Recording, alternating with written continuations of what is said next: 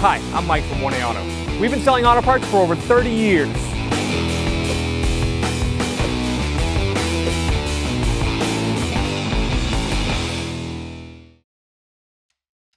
In this video, we will be replacing the front brakes on a 2015 Subaru Forester. If you need these parts or other parts for your vehicle, click the link in the description and head over to 1aauto.com. I'm going to take this tire off. Um, before I lift it up off the ground, I'm going to break the lug nuts free. Uh, I'm going to use a 19 millimeter socket and a breaker bar.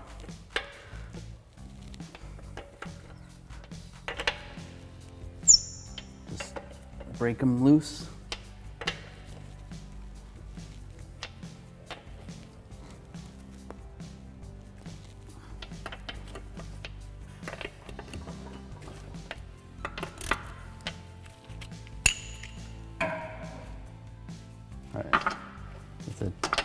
Tire up in the air, then I can take the lug nuts off.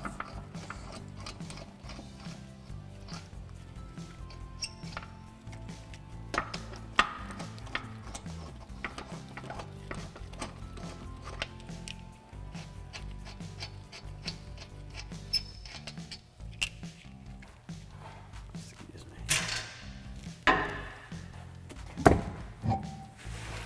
Pull the tire off. Now I'm going to take these two caliper bolts off.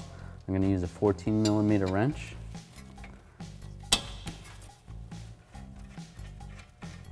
Before I loosen this one up all the way, I'll loosen the top one. Just like that. Take these both out. All right, so we're gonna pull this caliper off. I can take a flat blade screwdriver, just pry in here a little bit.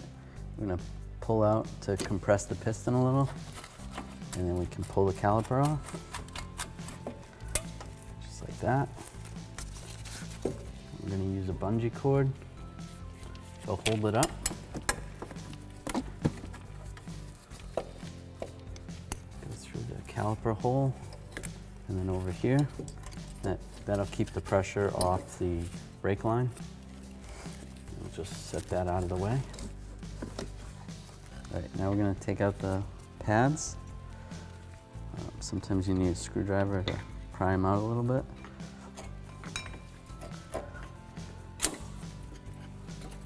Pull that pad out. Then we'll pull the inboard pad out. Next, we're gonna take these caliper bracket bolts out. Uh, they're 17 millimeter, so I'm gonna use a 17 millimeter socket and a ratchet. We'll take these out.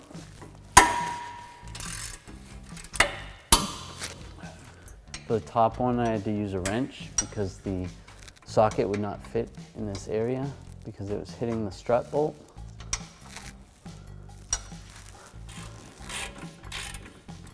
So I'll take the bottom bolt out.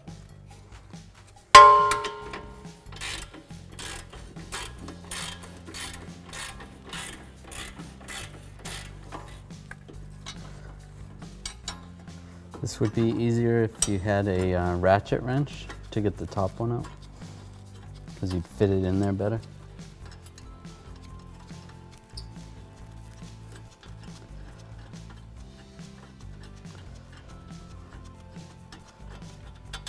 Pull that bolt out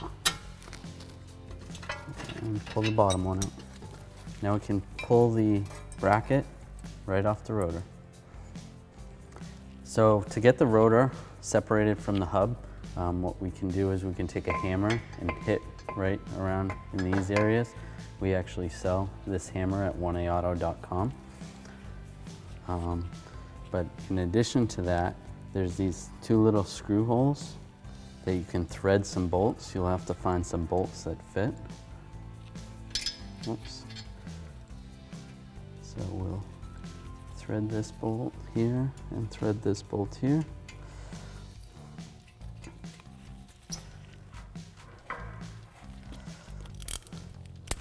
I'll take a ratchet. I'm just gonna snug these up a little bit. I'm not gonna put too much pressure on them. Just wait till it gets snug. Just put a little bit of pressure on and then we'll do this the same to this one. And then I can just take my hammer and give it a tap.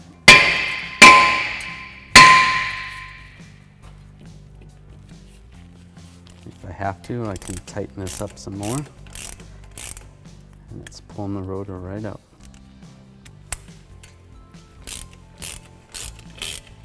Just like that. And the rotor comes off.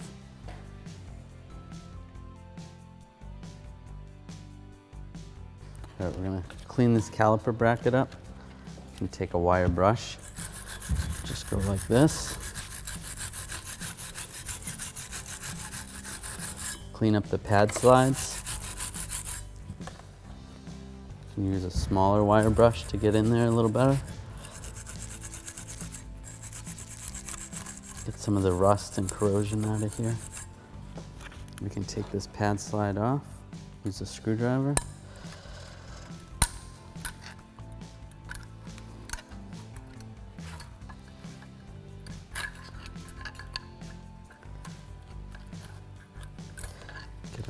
There, pull that off. There's a little bit of rust and corrosion under here. Just take the wire brush, clean this area.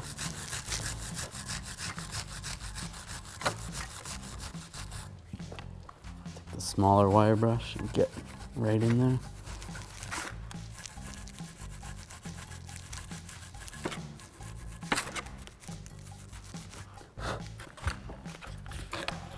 On the back of the pad guide, we can just clean this a little bit. This isn't that bad, so just wipe it a little bit. Just get a little, get a little of the rust off. We can reinstall this and do the same for the other side. We're gonna pull these caliper guide pins out. Pull that out. I'm gonna spray it down with a little brake parts cleaner use a rag and wipe it down.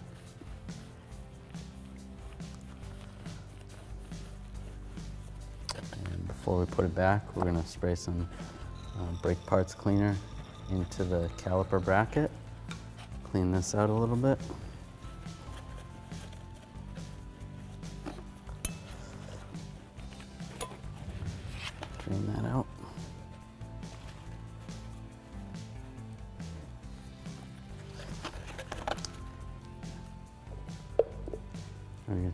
Caliper grease, brake caliper grease. Put on the pin, and then we can put the pin back in.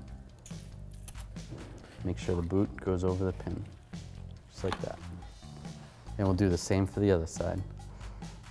All right, so before we put our rotor on, we're gonna wanna take a wire brush or some sandpaper and clean this hub surface up. There's a lot of rust and corrosion on here. Take a smaller wire brush and get in here.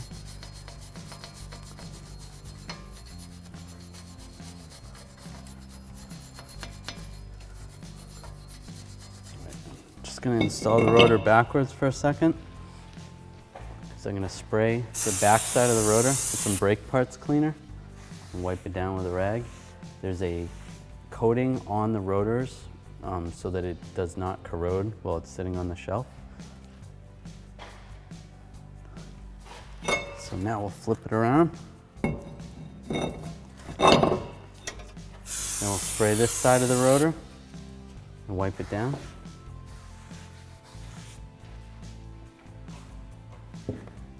Next we can install our caliper bracket.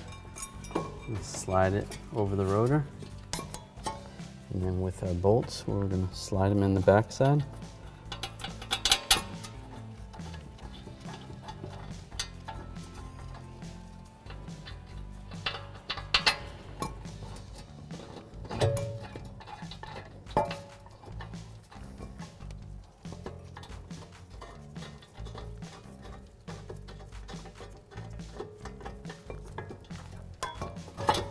Those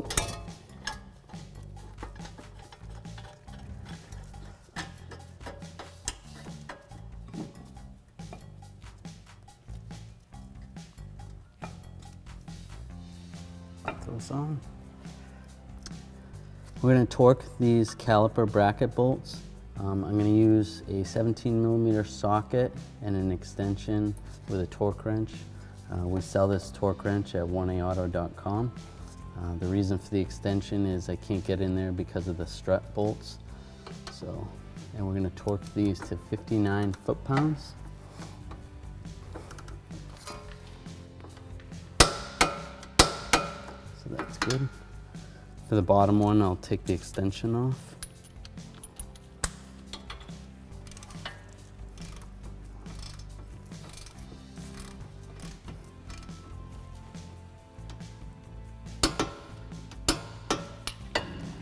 Good. All right, so we're gonna take a little bit of brake grease and put it on the ends of these brake pads on this side, this side, the same on this side. Get on there. Do not get the grease on the pad friction material. All right, so we'll start with the outside. Put this one down. All right, so this little tab gonna come out a little bit. That's gonna ride right along here. So push that right there. And then it's gonna slide in there.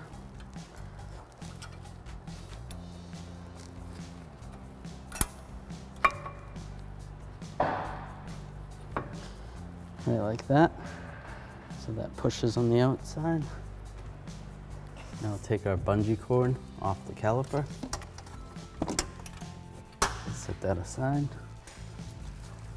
Take our caliper, flip it upside down here. A little bit of rust in there, shake that up. So I'll take the old, one of the old brake pads, slip it right here. And I can use a caliper compressing tool. Um, you can buy these at 1aauto.com. This is only a single piston caliper tool, but uh, if you use the brake pad, we can alternate back and forth to get it to go down.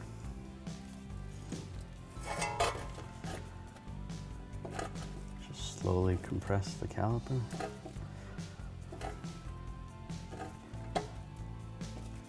You could also use some channel lock pliers or a um, C-clamp to get these to compress. Now the caliper is compressed all the way. Pull this brake pad off.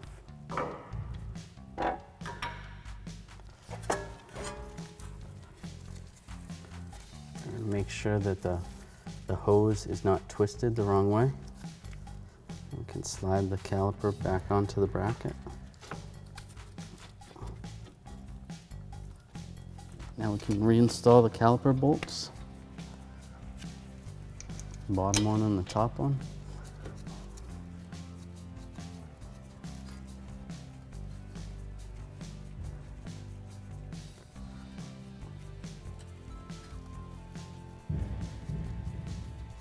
Right, I'm going to use some small locking pliers to prevent the caliper guide pin from spinning. And I'm going to use a 14 millimeter socket and a torque wrench. And I'm going to torque these bolts to 20 foot-pounds.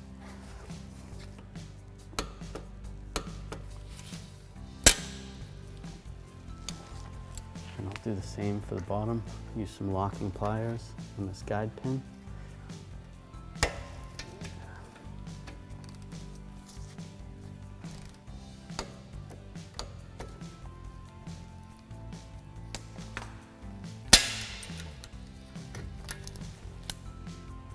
I'm gonna put, put the tire up.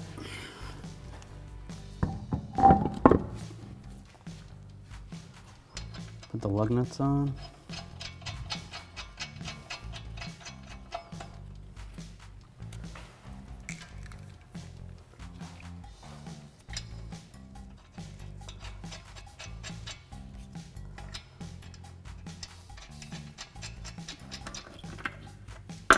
I'll just snug these up by hand before I lower the vehicle.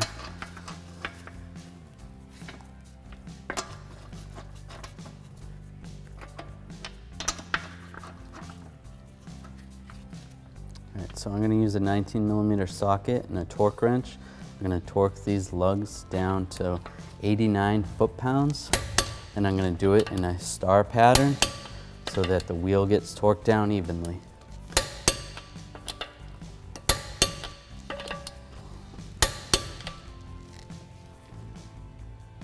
All right, before we um, take the vehicle and take it for a ride, we're gonna wanna pump the brake pedal because what's happening is there's an air gap between the brake caliper piston and the brake pad.